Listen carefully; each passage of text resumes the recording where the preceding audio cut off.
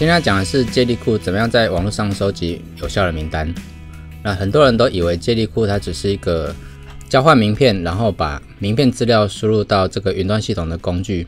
那当然，你交换名片的时候，它有这个很棒的功能，就是去结合名片全能王，然后把名片名片的上面的的那个中文字和英文字直接把它转换成电子档，然后。放到这个接力库的云端系统里面去，那接力库它本身就会自动发送信件或者是发送简讯，而且是发送系列性的信件或简讯哦。但是很多人不知道，你以为接力库只有这个功能而已吗？其实它还有另外一个功能哈，是网络行销比较会用到的哈。一般交换名片的人，大部分都是走实体聚会。那当然，牛奶爸是实体聚会跟网络行销两两边同时都做的人哈。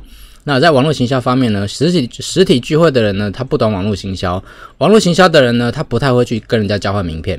那两个都做的话呢，一方面平衡我的宅男生活，一方面 一方面呢，我可以我可以云端跟地面同时进行哈，这是我希望做到的。那在云端部分呢，我们现在来讲的就是你怎么在最快速的方法里面去制作一个收集名名单页，像。这个我们我们现在云端的方式就是不交换名片的方式，然后在网络上呈现表单的方式。那我现在直接秀出来，在这个群组管理里面啊，我们先去建立一个群组。那这个群组呢，我们把它当成那个网络上来的陌生访客哈，这个是网络访客。然后寄件的呢，一样填写你自己的 email。啊，这个是填写你你的名字，比如说浏览吧。这样别人看到的就会是这个名字寄件人，然后信箱呢就填写你自己的 email 信箱。好，那这个签名呢，最好你去输入一下你的照片哈。那这个之前借力库软体里面就已经教过了哈，我们这一段就不讲了，然后直接按下一步。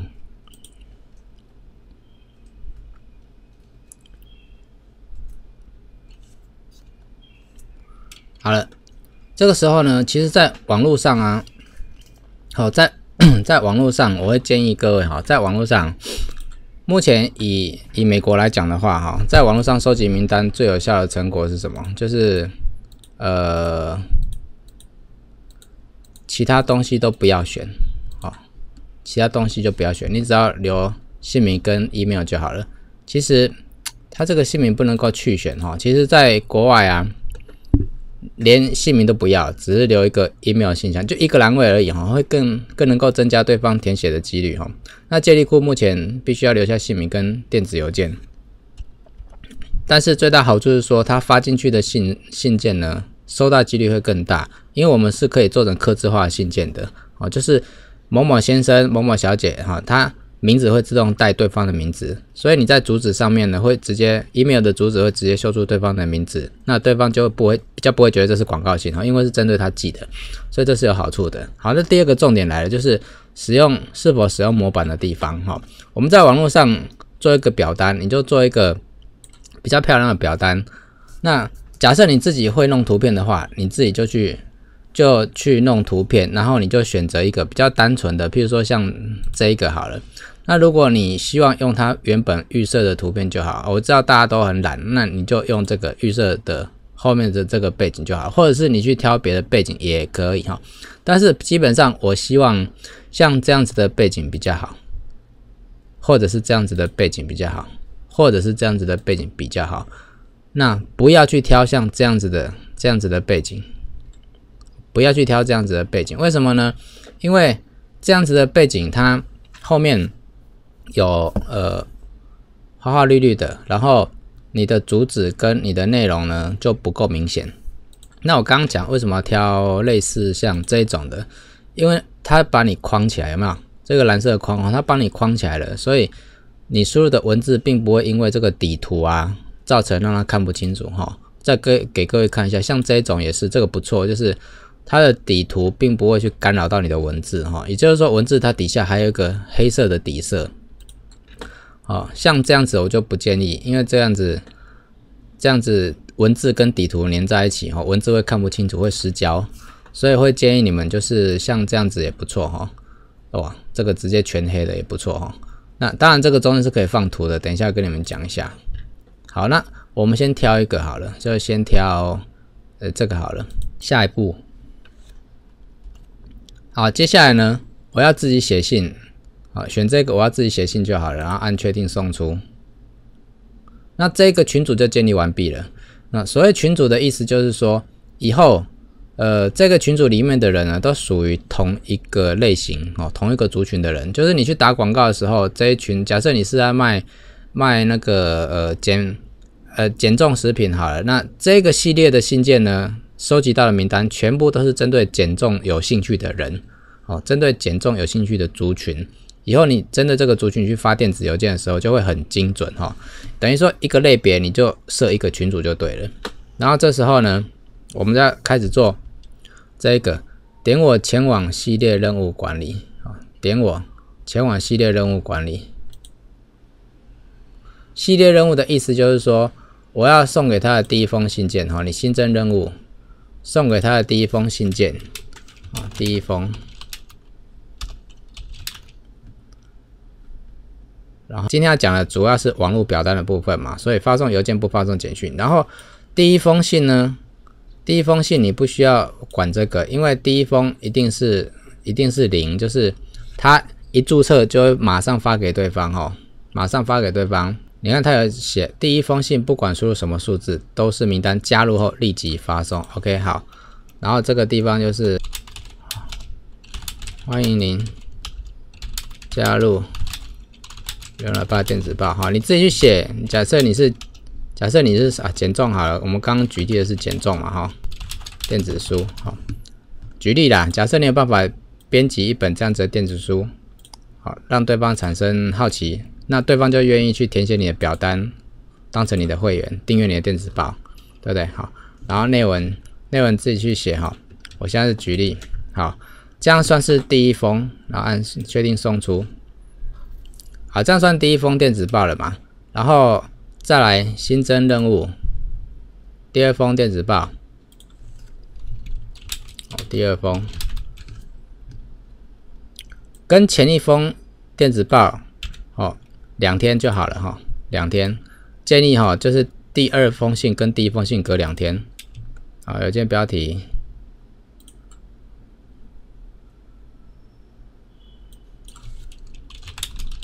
你已经开始大吃大喝了吗？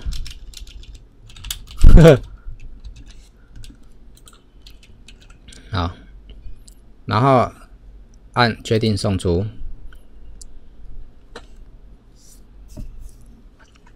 好，OK，那你可以写三封或四封哦。这个这个，如果你已经看过《一周赚进三百万》这本 Jeff Walker 写的书的话呢，你就会了解。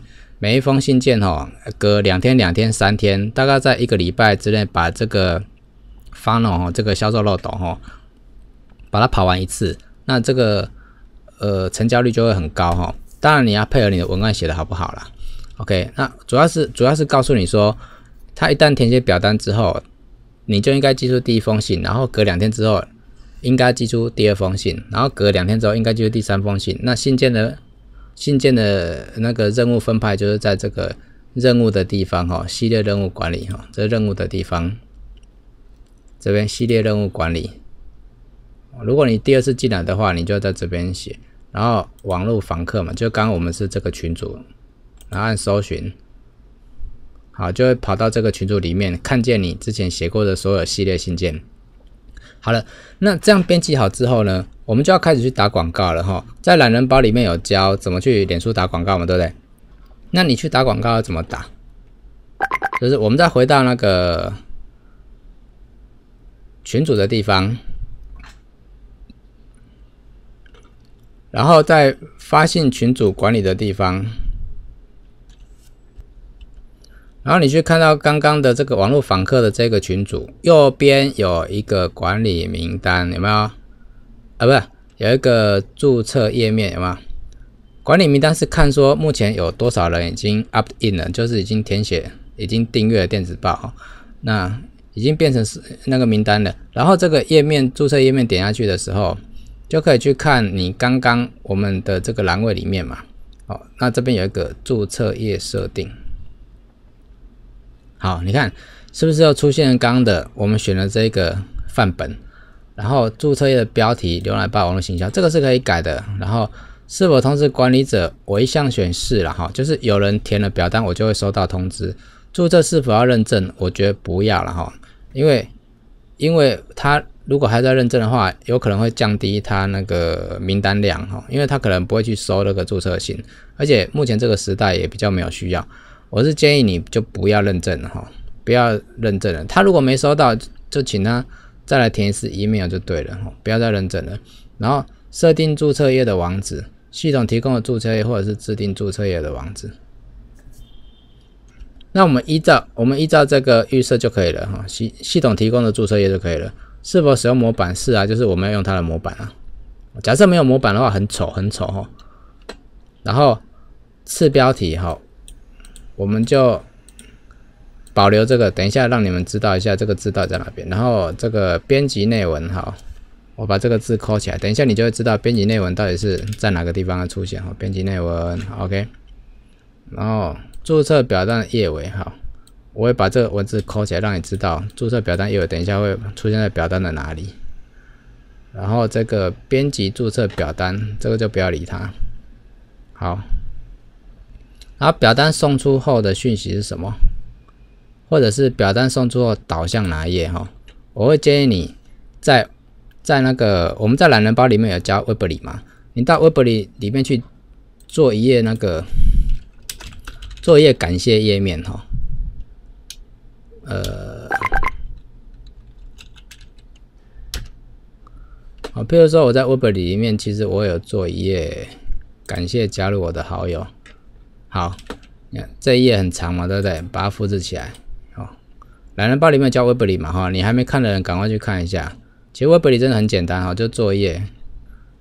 然后你就把这个，等于说他填了表单之后会跳过去的第一页是什么？哈，跳过去的第一页是什么？通常呢，就是你要给他的赠品就放在这一页，一个影片，好，一个教学影片就放在这一页。然后第二封信件再给他的时候，就是要跳到另外一页去啊，另外一页就是可能就是放。第二段影片，哦，像我之前就有这样设计啊，看一下，我之前就有设计 SEO 的第一集、第二集、第三集。那他们如果他们不知道这个网站，而且我其实我可以把这个第一集、第二集、第三集这个选单把它隐藏起来，他们就不知道了。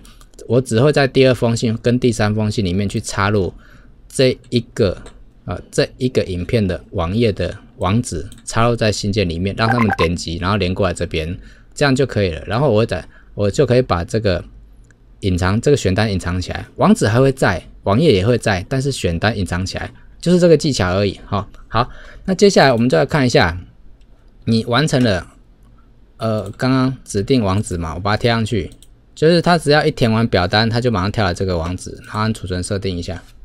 好，这时候呢，这一串网址哈，可以 review 一下，看一下，就长这样子，哦，就长这样。你看哦，这边是次标题会放在这边，这个是主标题，这个是次标题，有没有？然后这个是编辑内文，有没有？那因为它底色是黑的，所以编辑内文那个地方呢，我们应该要把它把它设定成白色的文字比较好。OK，我们把它关掉，看一下刚才的注册页设定这边，注册页设定这边。这边有编辑内容有没有？我们先把它改成白色的好了。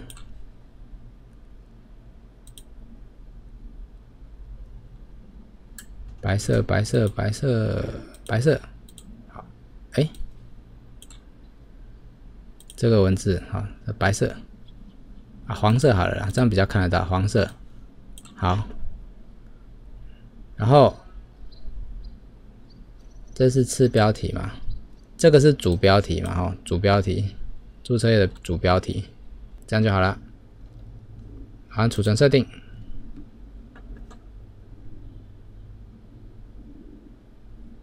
好，这串网址复制起来。这串网址就是到时候打广告的时候呢，我们会去用的网址。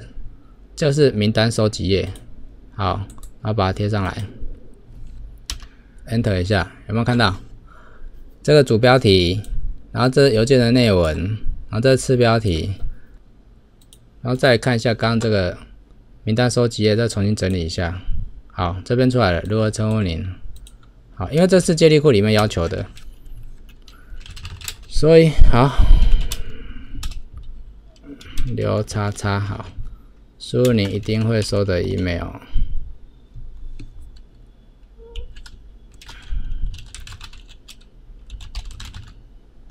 好，提交。这时候呢，你看它会自动跳到这个第一页，就是我刚设定的那个填写完毕之后就会跳过来的这个网页，有没有？好，这样就完成了。今天主要讲的这一集主要讲的就是，呃，名单收集页填完之后呢，就自动跳到你要给它的第一个页面。好，这就是我们今天的教学喽。你只要有做。